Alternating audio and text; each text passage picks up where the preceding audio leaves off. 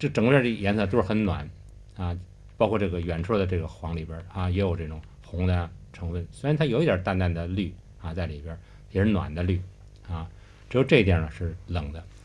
下边的这个这个树皮呢啊，它反映的周围环境的颜色呢也是黄啊，跟它是协调的。那么这个是紫，暗黑的这个颜色里边啊有点淡紫啊，也是对比颜色。所以这个里边除了黑白关系啊，黑白啊，像这个里边黑白灰这种关系以外呢，还有一种色彩的黄大片的黄红调子和少量的紫对比的关系，所以这个颜色写的很响亮啊，而且很突出啊，在人看远处看了以后呢，就比较吸引人啊。这个造成啊一种意境啊，一种诗意啊。这个诗人说呀：“霜叶红于二月花啊，冬天啊就是秋天啊，秋天霜叶，霜叶就是被霜打了的叶子，就是霜降了。秋天就是这个霜叶红了以后呢，看起来呢非常漂亮，就跟二月份看的花一样。这二月是过去讲那个阴历的二月呢，就差不多是春天的啊，特别南方这花已经开了啊。”这幅白蝴蝶兰呢，可以说是万里送了一点红的啊，因为这里边呢，基本都是用的这个啊绿颜色啊，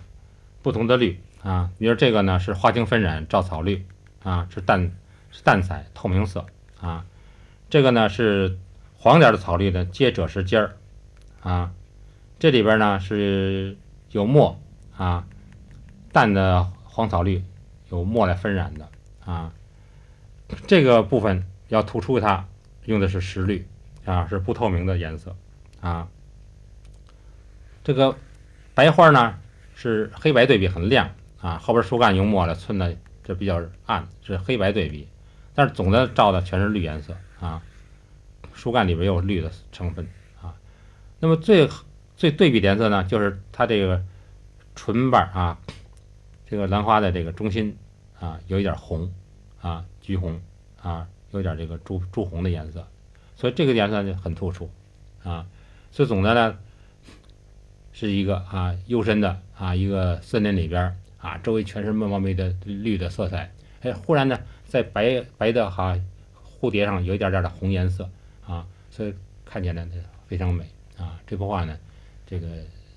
有两画了两三次啊，这个在国外展览的时候被有博物馆收藏。就是很喜欢这这幅画呢，我们啊，这幅白蝴蝶兰呢，可以说是万里送了一点红的啊，因为这里边呢，基本都是用的这个啊绿颜色啊，不同的绿。